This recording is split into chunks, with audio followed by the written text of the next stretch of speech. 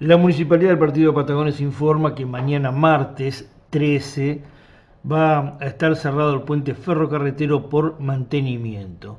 El municipio ha dicho que va a cerrar el puente desde las 8.30 y hasta las 14 aproximadamente. Repito, la Municipalidad del Partido de Patagones dio a conocer que mañana martes 13 estará cerrado el puente ferrocarretero por mantenimiento desde las 8 de la mañana y hasta las 2 de la tarde.